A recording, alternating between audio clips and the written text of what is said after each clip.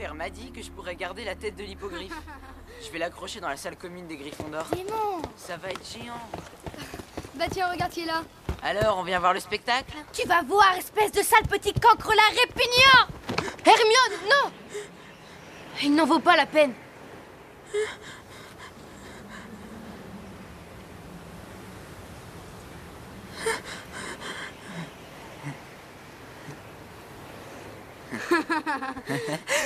Hermione Malfoy, ça va aller Viens, Drago On va aller nous voir.